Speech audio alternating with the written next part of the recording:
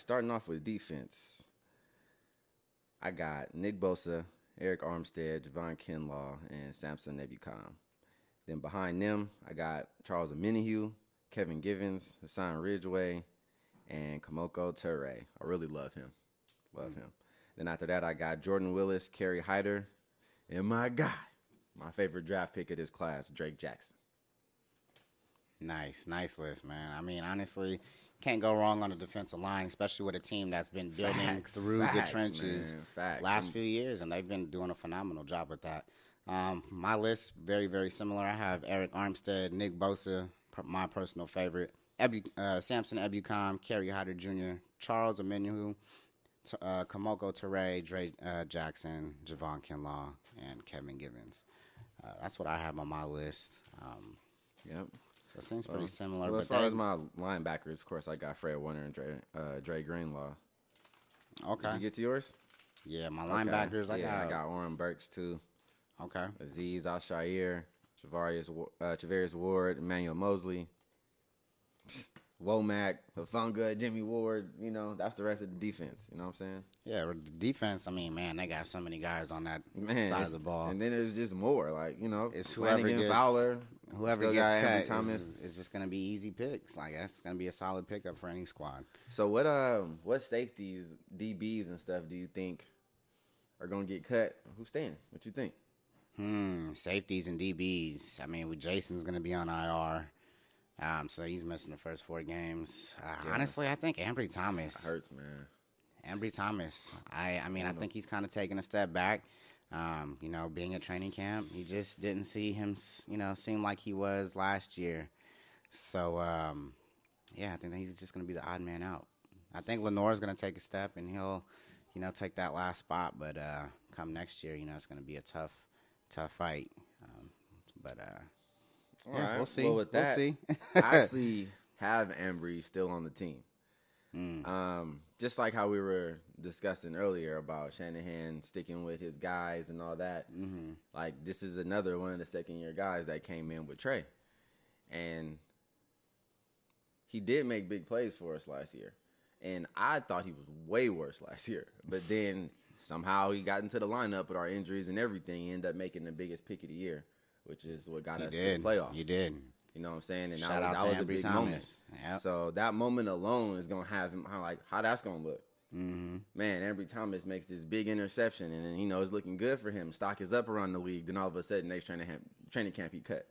Uh, to me, I, I don't think that's happening. So Well, you got to think about it like this too, right? So you have Charvarius Ward, who just signed a big contract. Uh, you have Manny Moseley, who's been playing lights out throughout training camp. mhm. Uh, Yeah. You have Jason Verrett, who obviously they value, um, and they're going to stick around and keep.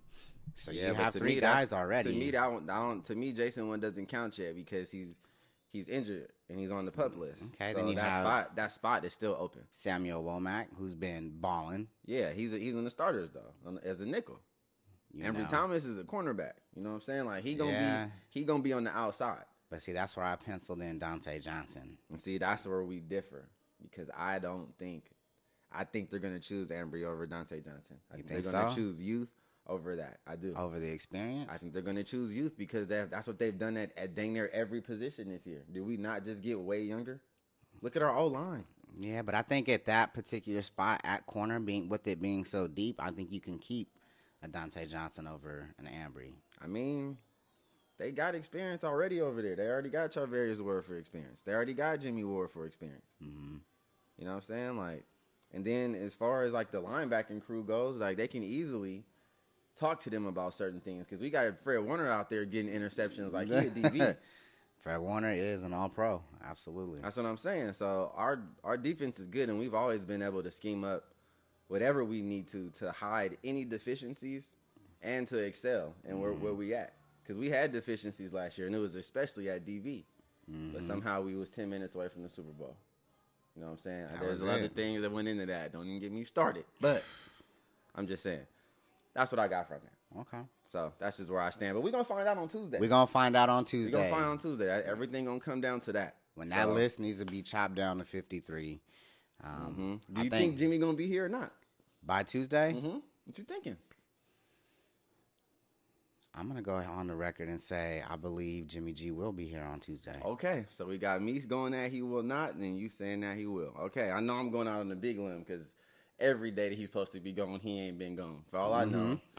Jimmy gonna be here all the trade career too. For all he, who knows, man? Jimmy just he live here. He just be at the at the facility, just chilling in the weight room, eating all the snacks. You, you Yeah, know, I'm I'm just gonna say, yeah, I think he's gonna be, I think he's gonna be here Tuesday. Yeah, I think they're He either might. gonna try and find. but I don't. I don't think he's gonna be here. I think they're either gonna try so. and find value to get it either trade in or maybe keep him in. Value ain't no value for Jimmy. but you know, What value? He's still at the. He probably sleep there right now. He take. I mean, there. you know, a seventh round is even something. So may, to them, maybe to the San Francisco 49ers, that's everything. Okay. Anyway, If it were me, I'd just, you know, cut. anyway, we gonna highlight y'all in the next one.